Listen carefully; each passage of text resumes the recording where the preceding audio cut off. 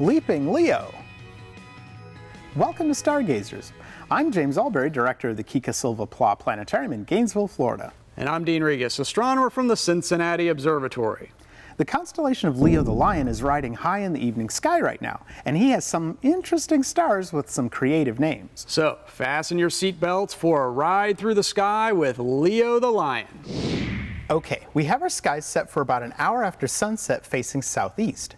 High above the horizon, you'll see Leo casually reclining, just as the ancient Egyptians depicted him in a regal sphinx-like position.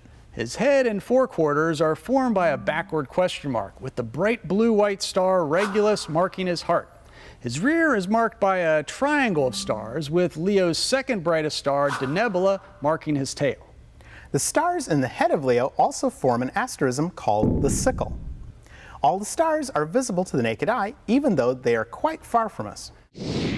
The names of the stars, starting at the top of the backwards question mark and working our way down, are Epsilon Leonis, Rasselas, Adafera, Algeba, Eta Leonis, and of course Regulus.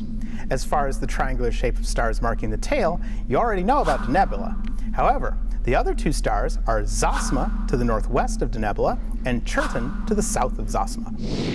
Within the official boundary of Leo, there are over 90 stars. Five of those stars are less than 33 light years from Earth.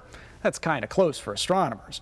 And at least 13 of those stars have planets circling around them. The brightest stars of Leo are an excellent example of Persian star naming.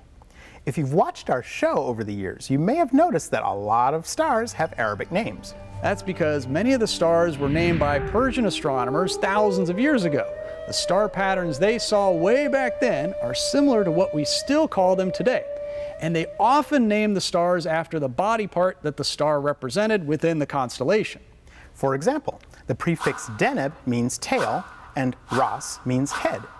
Several stars in the sky have either Deneb or Ras as part of their names. Rasselas, also known as Mu Leonis, is the star at the top of Leo's head.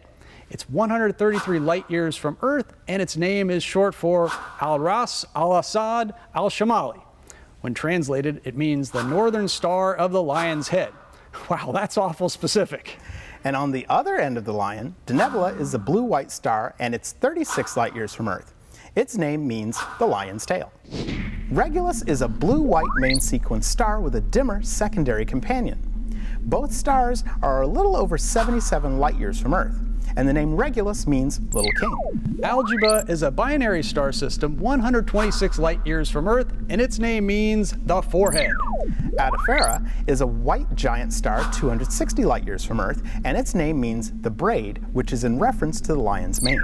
In 2014, it was announced that Rasselas has a planetary companion more than twice the mass of Jupiter with a year 358 days long. The last two stars we'll talk about are near the tail of Leo. Their names are Zosma and Chertan.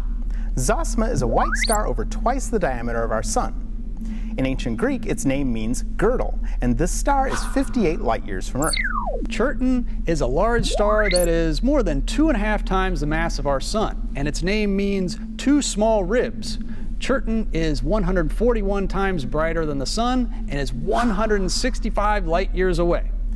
Wow, if Chertan were the sun, we'd be pretty toasty. Most definitely. So, get outside and check out the brightest stars of Leo the Lion. We have Rasselas, Adafera, Algeba, and Regulus making parts of his head. And Zosma, Chertan, and Denebola making his rear end and tail. He's easy to find when you keep looking up.